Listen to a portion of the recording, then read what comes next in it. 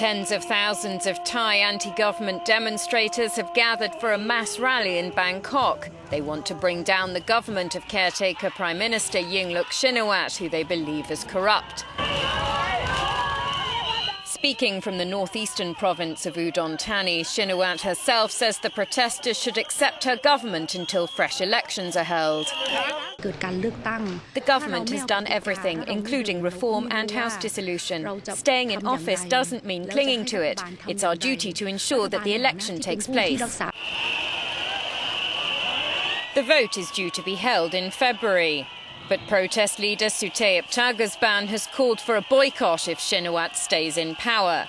Thaugsuban's supporters lined the streets of the Thai capital, many of them handing him fistfuls of cash to support his movement.